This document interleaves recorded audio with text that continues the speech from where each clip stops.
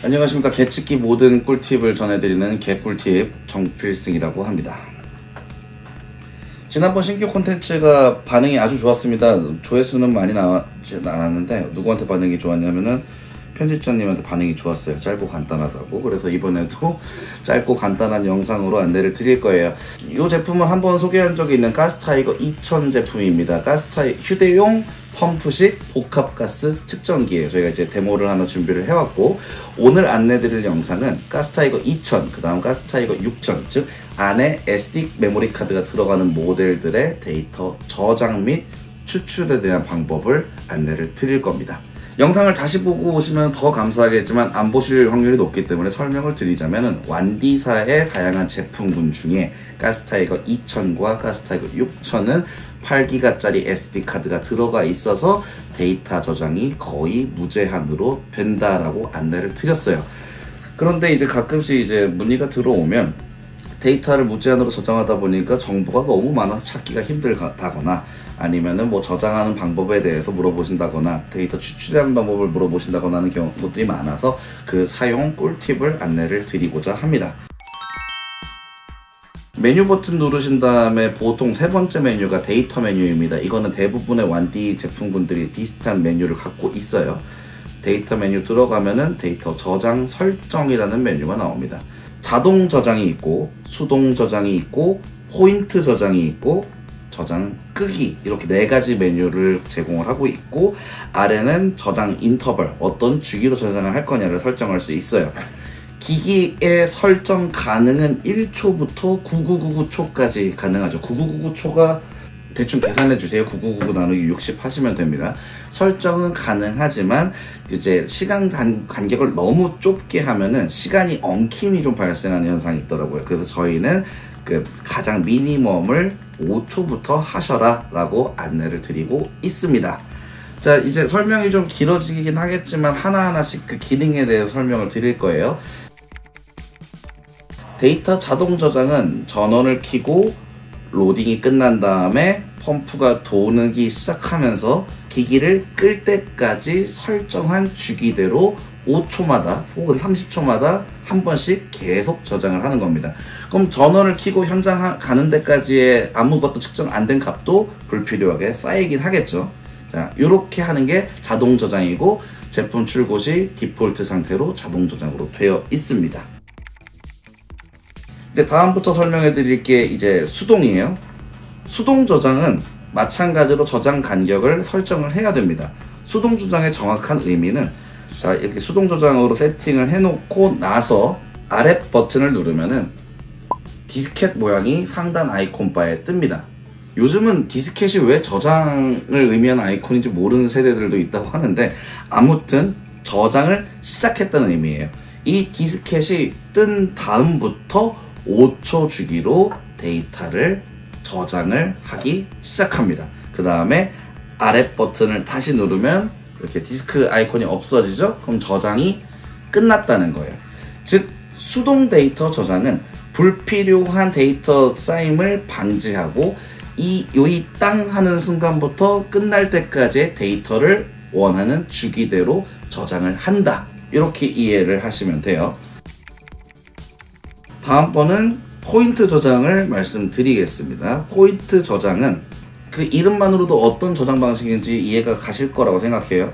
가스가 이렇게 측정이 됐다가 지금 지금 이렇게 요 포인트 포인트 하나를 저장을 하는 거예요. 그러니까 순간 캡처 스크린샷 정도로 이해를 해주시면 돼요. 근데 여기서 제가 불만인 점은 뭐냐? 수동 포인 수동 저장은 아래 버튼을 눌러야지 저장이 되는데 포인트 저장은 이 가운데 있는 OK 버튼을 눌러야지 저장이 됩니다. 화면 보실지 모르겠습니다. 이렇게 잠깐 잠깐 누르면은 디스켓이 나왔다가 사라졌다. 나왔다 사라졌다. 요 한 건 한 건 한 건이 지금 세 개가 저장이 됐다는 의미로 이해를 하시면 됩니다. 당연히 데이터 저장 오프에 대해서는 설명 안 드려도 되겠죠? 즉 가스타이거 2000, 6000 물론 다른 모델들도 이런 식으로 자동 저장, 수동 저장, 포인트 저장을 제공을 한다. 그런데 가스타이거 2000과 6000에만 SD 카드가 들어있으니 엑셀로 추출이 가능하다. 이렇게 저장에 관련된 팁을 드리겠습니다. 요대로 끝나면 섭섭하니까 이제 추출하는 것도 아예 좀 보여드릴게요. 요 부분들을 많이 헷갈려 하십니다.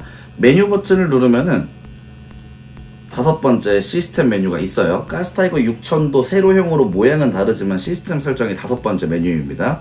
누르고 아래 아래 아래 아래 아래 아래 아래 즉 마지막 버튼인 USB 스위치를 온 하고 OK가 뜨면은 이제 이 제품은 측정기가 아니라 하나의 SD 카드가 된 거라고 이해를 하시면 돼요.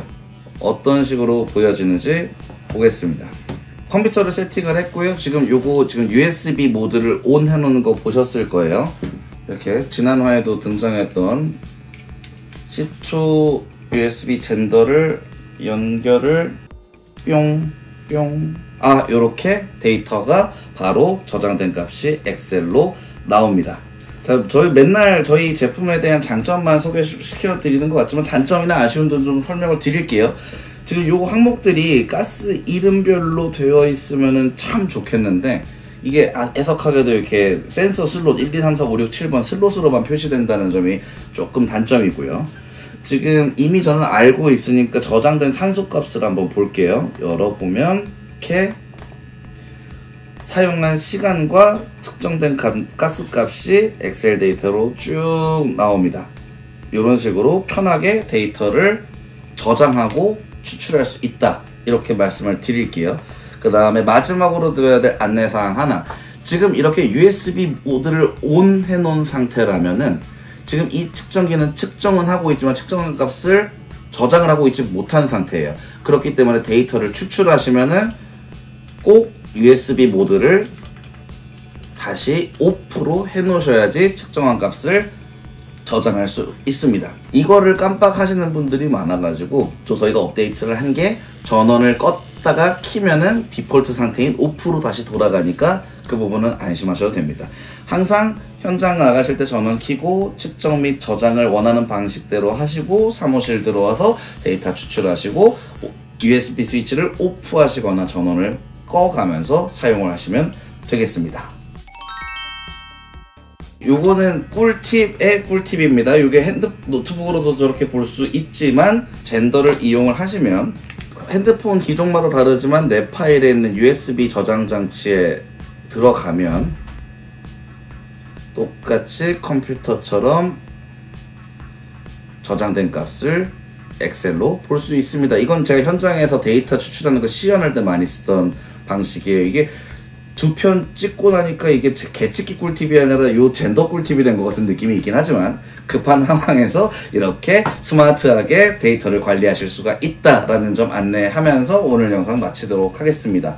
언제나처럼 구독, 좋아요, 알람 설정, 댓글도 부탁드리고요. 다음 달에도 또 깔끔한 꿀팁, 개꿀팁으로 찾아뵙도록 하겠습니다. 감사합니다.